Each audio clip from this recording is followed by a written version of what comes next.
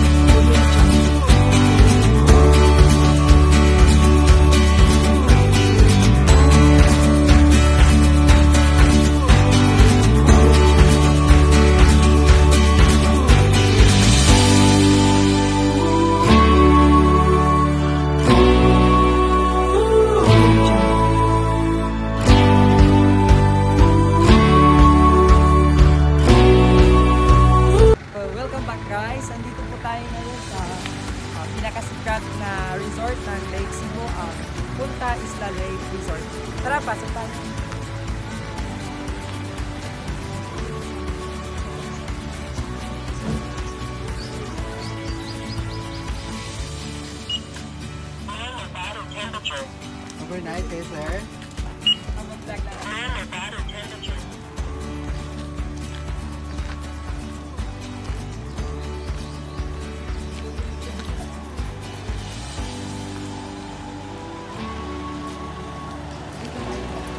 Wala na pala ba yan?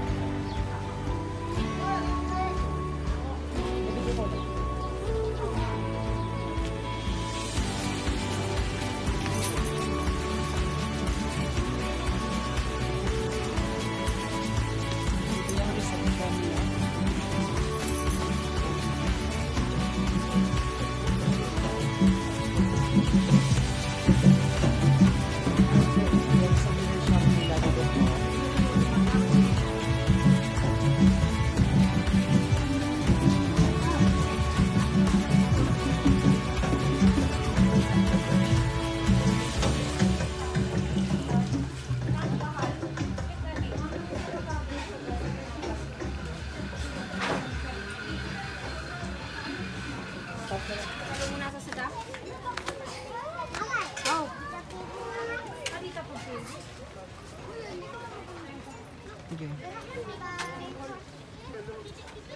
Dala. Ito po yung kabuuan ng ah, hall sa Lake Cebu.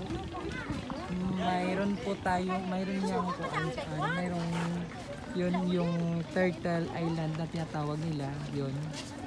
Ah, kasi pag nasa taas ka, yung may Kimdo Lake, Cebu, yun po yung Turtle Island na pag nasa taas ka, ah, mukhang turtle yan. Kaya tinatawag na Turtle Island. Or pwede din Crocodile Island kasi parang crocodile din siya. Parang turtle na parang crocodile. Yun yung sabi nila eh. So panaranasan kasi. So, yun. An- madaming pwedeng pun- ah, puntahan na tourist spot dito po sa Lake Cebu. Isa na po ito ang Punta Isla sa pinaka ah, pinupuntahan ng mga tourist na kagaya ko. And then may may boating sila, lahat-lahat ng amenities and services meron po sila. May overnight din. At saka ah, lahat. May may may wedding. If hindi lang pandemic siguro mara, mas maraming tao pa ngayon dito so yun ah, konti lang yung tao kasi na ah, strict din yung protocols na pumasok dito sa sa sa resort yun Kapoy. Si, yun, yun po yung floating restaurant ng Punta Isla. Yun, yung makikita nyo, yan. So, I don't know magkano if gusto mong mag-tour sa buong area ng this area, whole area ng Lake Cebu yun. So iikot yung rest, yung floating restaurant nila. So I don't know magkano yung isang mandel basta ah, parang 800 ata yung per head tapos maximum of ay minimum of 10 ah, bago ah, aalis yung ano yung yung tawag nito tong boat yung restaurant na floating restaurant nila tsaka iikot doon yung sinasabi ko kaninang ah, island turtle or crocodile island I don't think so. Basta island siya. Dali, ah, iikot yan doon. Iikot yan doon yon tapos ah, iikot dun sa kabila. Magbubot siya basta dito yan. Ikotin niya yan mga mga isang oras na libot sa floating restaurant nila so yun this is a very magical ah, lake. Yung daming ano ah, sources of income here are tilapia lahat. Meron ding hito. Tsaka yung mudfish or at tsaka yung ah, Saint Peter fish. Yun. Ah, marami pang lugar na pwedeng puntahan kaso lang limited na nga yung time namin kaya ah, kasi parang uulan yun baka ah, uulanan kami mamaya. So ah, dito na lang yung last destination namin sa Punta Isla. Yun. And then next stop namin ah, Seven, Seven Falls yung pupuntahan namin. Okay so hanggang dito na lang po yung Punta Isla tour natin. So dito po tayo ngayon sa falls number 2 So nag nagtataka kayo bakit meron akong tungkod kasi yung uh, madulas yung dadaanan dito. Ito. So, so information, ito po yung pinakamataas na falls sa lahat na 7 falls. Kung nagtataka po kayo bakit 7 falls, siyempre literal 7 na falls po dito yung makikita natin sa 7 falls. Pinaka ang bato kagay na pinaka tangkad sa tanan nga falls diri sa Seven Falls. Tara, puntahan natin yung Seven Falls. Yung falls number 2 pala.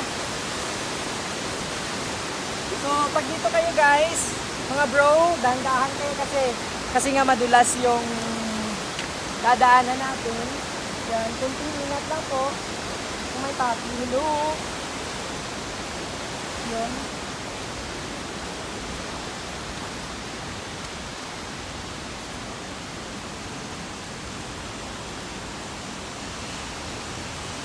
Magtataka po tayo paano ito ginawa. Pero, pero ngayon nga dahil sa creation ni God, makikita natin kung gaano kaganda yung seven falls na ito. Because of God's great uh, creation, so na-create niya itong seven falls na ito, napakagandang falls.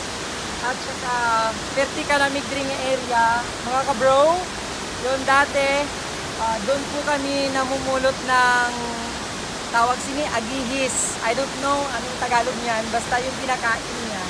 Pinakain niyan na parang kabebe. Kabebe, parang pabebe ka. Do is nail.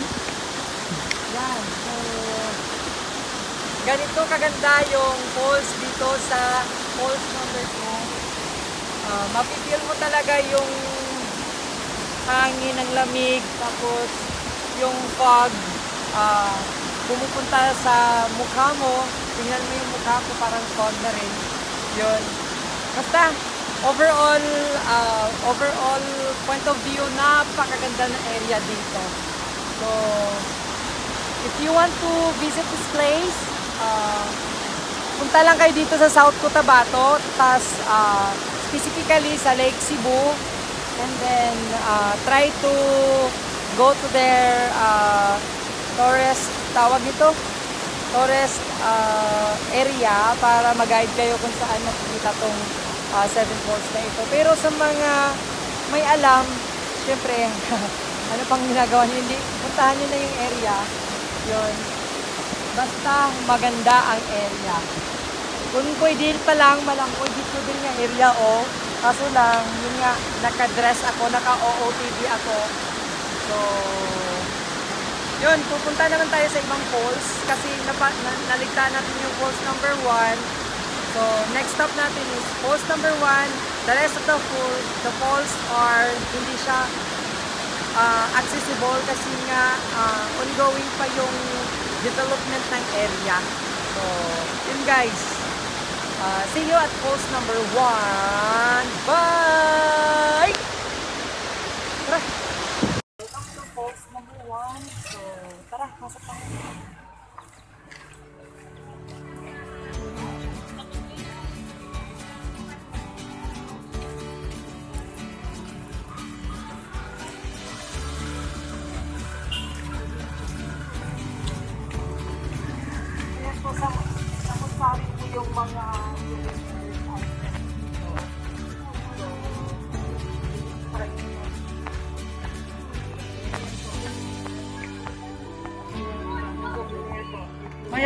ano, yan, oh, mababili ako niyan.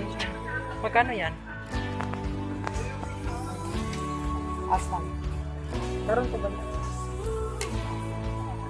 Okay, sige ko naman na lang.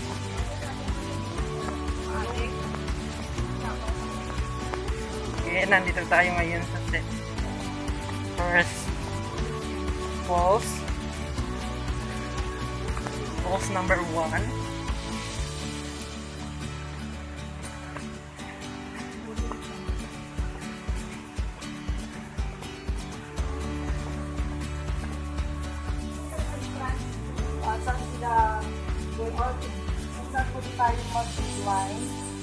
Po yung may mga schedule of operations na kailan mag-close at kailan mag-open yung music line. So, yung uh, yung books nila kung saan pwede tayo mag-pass. Kasi nga lang,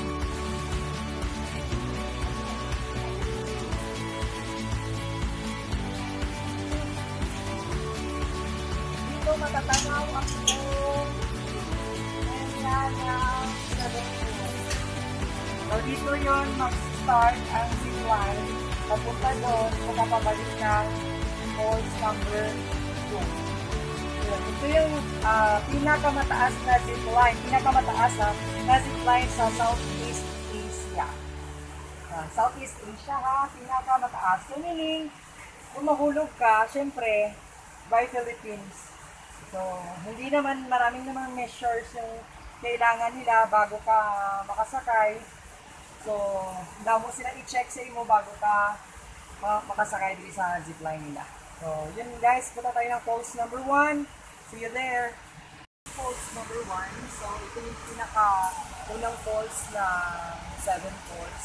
Yung falls number 1. Ah, napakalakas yung abot ng tubig. At saka, kita naman yung mga kasamahan kami na nandito para mag-take ng picture. Napakaganda yung view. So, dalawang falls lang yung napuntahan namin kasi nga hindi accessible yung ah, five falls kasi hindi pa naayos yung daanan papunta doon. Kag technical kasi hindi nga daw maulan dito so basta makalandog na din. So, salamat sa pag-watch ng video. Thank you for watching my video.